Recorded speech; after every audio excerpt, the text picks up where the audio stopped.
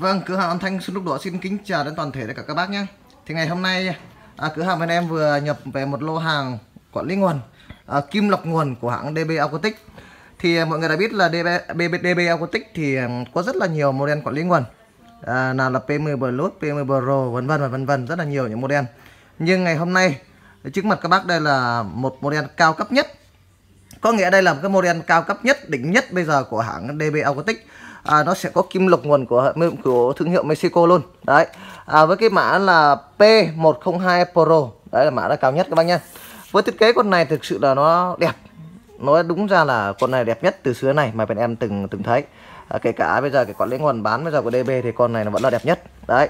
Họ thiết kế toàn bộ là phía trước là mặt phay nhôm khá là dày này khá là dày. Với tem à, bảo hành điện tử của DB bên này thì tem à, lại à, uh, Technology USA cái này là gọi sản xuất theo công nghệ của Mỹ. Đấy. Thì à, cái màn hình của nó màn hình đa sắc luôn. Rất đẹp các bác này. Nó hiển thị à, uh, vôn kế này à, giờ này giờ này và ngày tháng năm luôn này. Đấy rất là kỹ. Chúng ta thể chỉnh được uh, cả ngoại ngữ ngôn ngữ này điện áp vào này. Đây là phần chúng ta chỉnh uh, ngày giờ và các chế độ. Đây là độ trễ của từng kênh kênh 1 này kênh 2 kênh 3 kênh 4 kênh 5 kênh 6 7 kênh 8 9 10 đấy còn là nó sẽ có hai kênh là nó sẽ chung.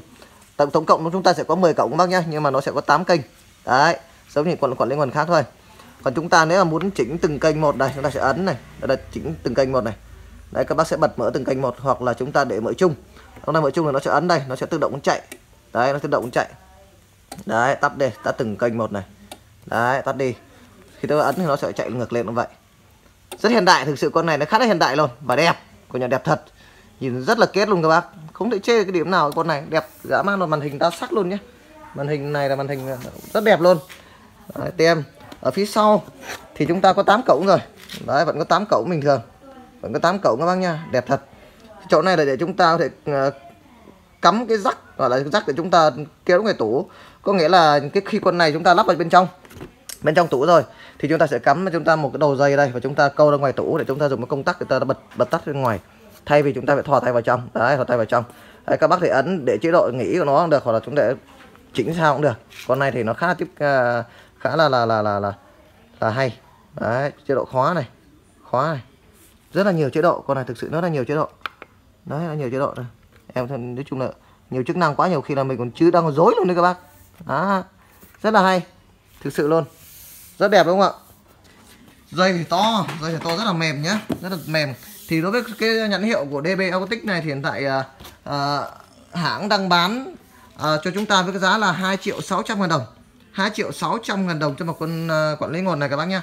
Và tất cả con quản lý nguồn này này sẽ được uh, sử dụng lọc nguồn của Mexico được sản xuất tại Mexico luôn.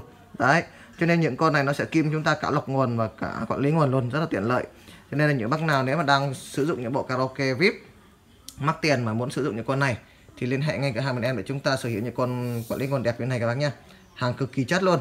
À, và những à, số lượng thì bên em cũng rất là nhiều. Hôm nay nhập với cả lô rồi nên khá thoải mái. Bác nào lấy bao nhiêu cũng có các bác nhé. Xin cảm ơn các bác rất là nhiều và hẹn gặp lại các bác ở những clip sau. Chào tạm biệt các bác.